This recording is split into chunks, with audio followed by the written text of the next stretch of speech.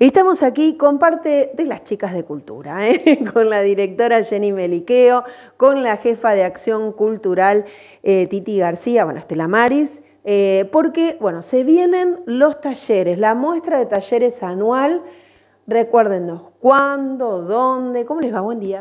Buen día, chicas. Buen día, bueno, para todos ahí la, audiencia. Bueno, la muestra de talleres, el cierre, mejor dicho, va a ser este día viernes, primero de diciembre, a partir de la hora 18, si están todos invitados, en el Centro Cultural, ubicado en Gregores, 1279.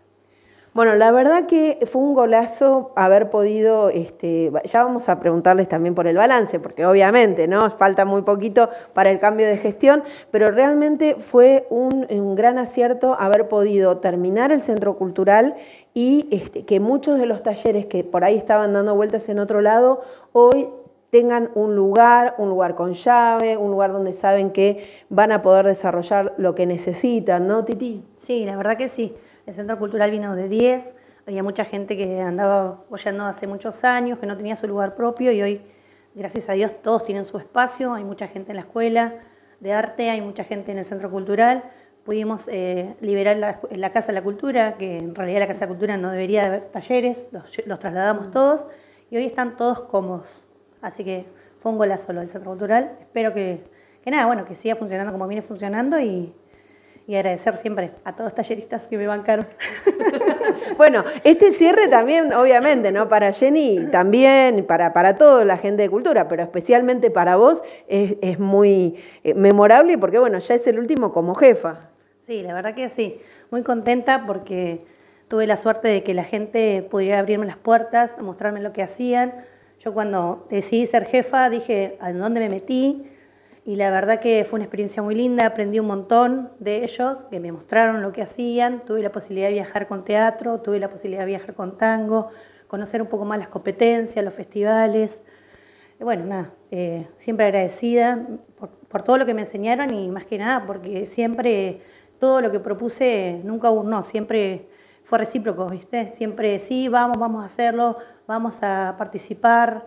Eh, la verdad que me voy contenta, contentísima. Ellos, lo saben más que nadie, eh, que para mí fue un desafío que la verdad que me dejó una experiencia gigante y, bueno, nada, qué sé yo. Además, a lo largo de estos años también las propuestas que pudieron hacer, incorporar más talleres, las propuestas de talleres de verano que en algunos casos después se convirtieron en talleres anuales. Sí, exactamente. La verdad que pudimos poner eh, talleres de verano que funcionaron muy bien, incluso nos quedaron unas eh, listas siempre de espera, entonces tratamos de renovar, hay muchos talleres, de, esos talleres que quedaron que hoy funcionan, el de los idiomas que era algo que pedía mucho la población, que tuvo mucho éxito igual, y los talleristas buenos que vienen de hace años y que cada vez, como siempre digo, son exitosos, eh, la palabra más chica que le puedo decir, son muy buenos los que hacen. Y bueno, nada, espero que sigan así funcionando como vienen y que, que nada, que sigan brillando como le digo siempre.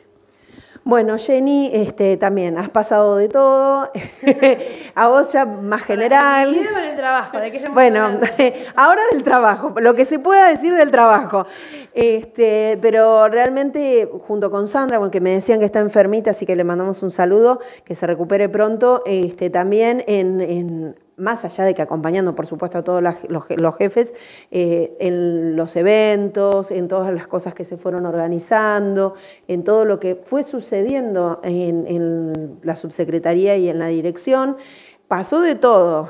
Siempre uno se queda con lo bueno y no olvida lo malo, ¿no? Así es, la verdad que como decís vos, Flor, pasamos muchas cosas, muchas cosas lindas. Eh, primer evento que tuve a cargo, me acuerdo que fue bueno, en el verano, cuando asumí, que fue este, justamente la materia eh, de la sociedad rural, que trabajamos muy bien, este, poder tal vez volcar lo que uno veía del lado de, tanto de la locución y demás, ¿no? a checar los que son los tiempos, poder modificar algunas cuestiones, no que sea para más práctico para todos. Pero en cuanto a desafíos, fueron, fueron muchos, fueron muy lindos.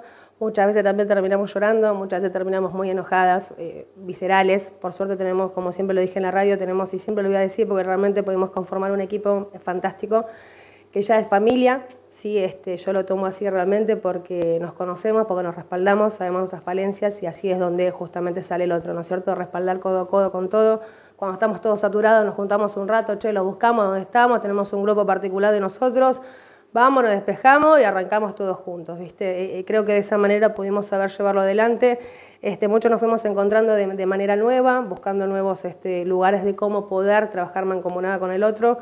Eh, tuvimos varios desafíos, varios momentos este, críticos, pero siempre todo, este, siempre uno destaca el crecimiento que tiene, la evolución que uno tiene. La verdad que cultura, este, no me voy a, creo que no me voy a, este, a equivocar a la hora de decir que, que no elegí un lugar mejor para hacerme cargo justamente, porque aparte de crecer, aparte de los desafíos, como te digo, el de, bueno, hay que ser creativo porque con plata somos todos buenos. Y ahora qué hacemos, ¿no es cierto? Bueno, de eso surge lo mejor, la creatividad y la volcamos a nuestra vida personal, que lo sepan porque realmente este, no somos los mismos, evolucionamos y, nos encanta lo que hacemos. Obviamente muchas veces nos hemos quedado cortos, ya sea por una cuestión de presupuesto, ya sea por una cuestión, entender desde los alcances, de que estamos lejos, de que es una comunidad pequeña, eh, de que no se puede porque hay otras necesidades, porque no todo es cultural pero sepan que siempre quisimos este, dar lo mejor de lo mejor, ¿entendés? Este, creo que hemos tenido muchas ideas que han quedado ahí, tal vez es algo este, trabadas, pero por una cuestión, ya te digo, de presupuesto, este, traer, no sé, ferias audiovisuales, no sé, ¿viste cuando decís para, para cranear?